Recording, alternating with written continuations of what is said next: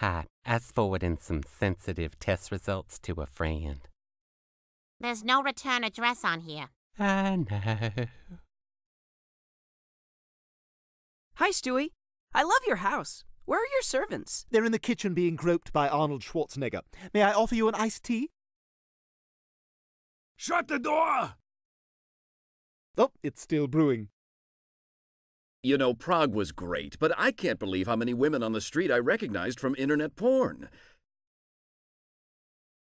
And Stewie, I guess since Mom lost her job, we can't afford to send you to that fancy preschool anymore. Ah, it's all right. I'm probably better off in my old school anyway.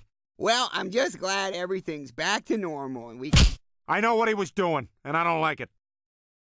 I figured fancy guys like you only drink in hotels. The hotel threw me out. I used a mustard bottle to write Dallas Portland's a dick on the wall. Oh, I did that once at a hotel, but it was pee, and I didn't write anything. Look, Tom, Tom, before you do anything crazy, answer me one question. Why is it I have a house and you have an apartment? Yeah, maybe you should jump. Yeah, apparently when he interviewed me up on that roof, the ratings were so huge they made him anchor again. And he's right back where he belongs, reporting the stories we've come to expect from the local news. For the sixth time this year, a fecal explosion has rocked the Quahog Mall. Joining me in studio is a local teen who witnessed the event. A lady thought my dog was a millionaire, and then I pooped in her store. Yeah, it's a shame that exchange student finally learned English. What an awesome day for being well liked! Let's do nose drugs! From the producers who brought you Taken comes Jeff Garlin in Staken. I don't know who you are. I don't know what you want. But I do have a very particular set of menu items that are on their way to my table. So I will wait for them. I will eat them. And I will call you back after the apple crisp. Excuse me, uh, waiter. My daughter won't be joining me. I'll have both meals.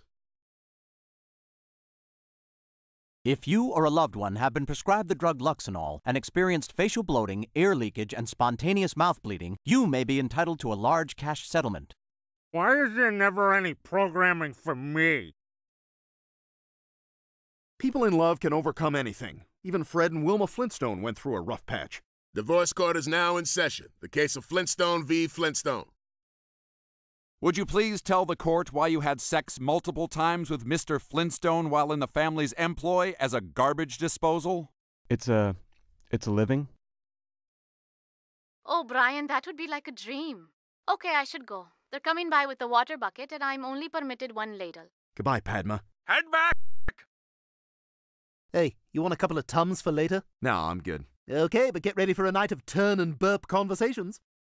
It is not that simple. I have already paid a large dowry to Diraja's family. Hey, Brian, when you come back to the hotel, if there's a gold shoe with a curly toe on the doorknob, it means I'm getting.